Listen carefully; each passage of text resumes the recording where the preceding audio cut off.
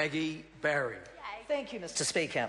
Uh, the purpose of this bill, as others have outlined, is really to strike that balance between making sure that buildings are safe against earthquakes and also that are not terrifically expensive for the people who've got the buildings. Uh, there are a number of complicated issues around of it, uh, many of which uh, I see on a weekly basis in my own North Shore electorate.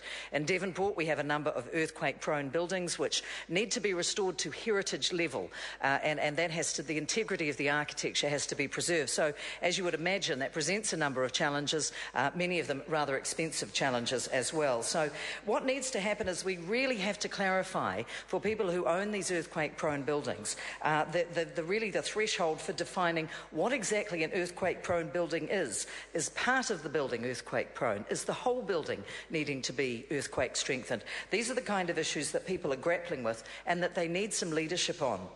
The timing, of course, is contentious. Um, should we be doing this within a time frame of within 20 years uh, or pushing it out uh, to, a, to a longer limit? There's, there's a number of various viewpoints you could take into account on that one, and I guess affordability comes into play, but again, keeping in, uh, in mind that very important aspect of public safety.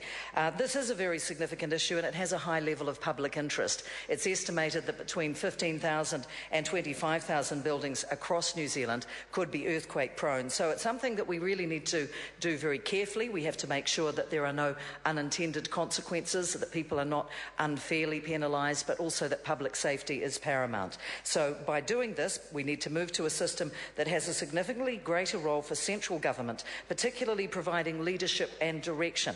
Uh, we need to make better use of the capability and resources of central and local government. In other words, we all need to work together to make this bill the good piece of legislation that it is. Thank you, Mr Speaker.